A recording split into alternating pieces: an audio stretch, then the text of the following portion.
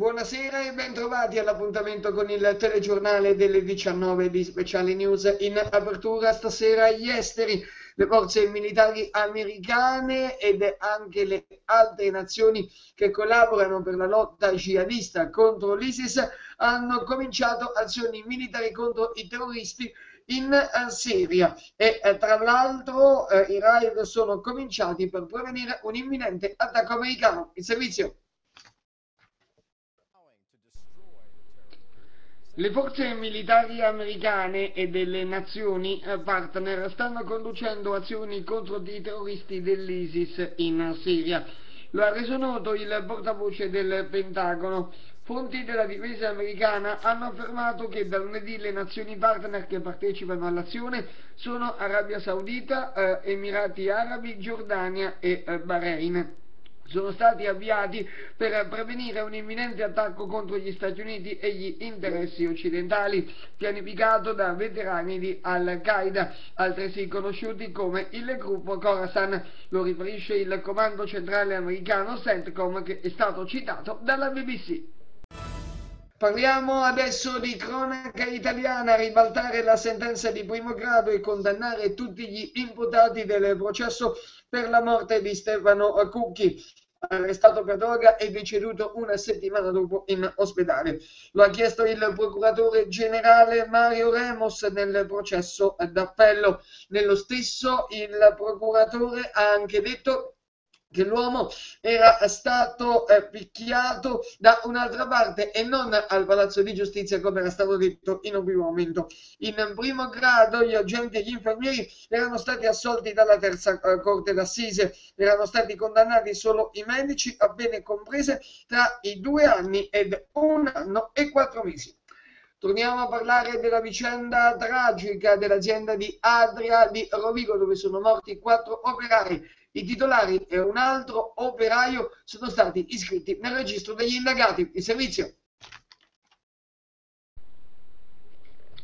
I titolari dell'azienda di Adria, vicino Rovigo, dove lunedì hanno perso la vita quattro operai, sono stati inseriti nel registro degli indagati dalla Procura rovigiana con l'accusa di omicidio colposo.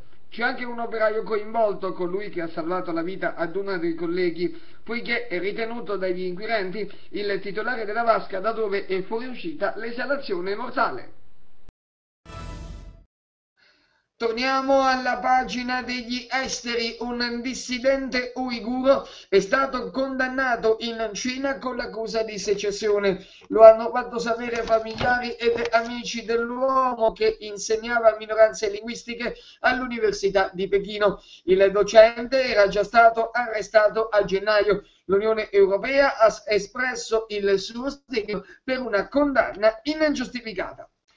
I militari del nucleo speciale di polizia valutaria della Guardia di Finanza di Roma hanno sequestrato l'abitazione dell'ex segretario generale dell'UGL Giovanni Centrella. Eh, l'uomo è accusato di appropriazione indebita dei fondi del sindacato. E adesso apriamo un'ampia pagina sportiva. Incominciamo con il calcio, con la Serie B. Questa sera la quinta giornata di campionato. Ieri si è disputato l'anticipo Spezia Carpi, finito con la vittoria carpese per 2 a 1. Ecco il programma di stasera. Sentiamo.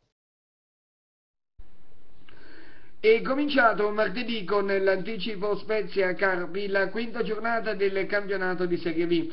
Il successo va agli ospiti per 2 a 1 con le firme di Bianco e Concas ed il gol locale a fine gara di Catellani.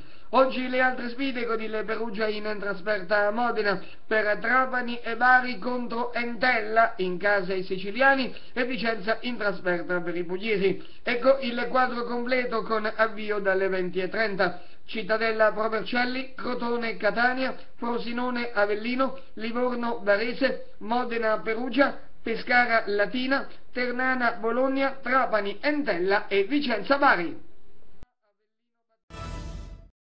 Ancora calcio, ma questa volta alla Serie A perché questa sera alle 20.45 c'è l'anticipo della quarta giornata del campionato tra Empoli e Milan i rossoneri in cerca di riscatto dopo il KO contro la Juventus, mentre i padroni di casa dopo il 2-2 acciuppato con il Cesena, cercano la prima vittoria stagionale. Fra i rossoneri potrebbe esordire dal primo minuto Fernando Torres, per gli embolesi Maccarone non ce la va, recuperano Laurini e Tonelli. Bene, è tutto per quanto concerne questa edizione del telegiornale. I prossimi appuntamenti con la nostra informazione la notte alle 22 e poi eh, nuovo giorno domani mattina alle 8. Buon proseguimento di serata, ci vediamo domani sera.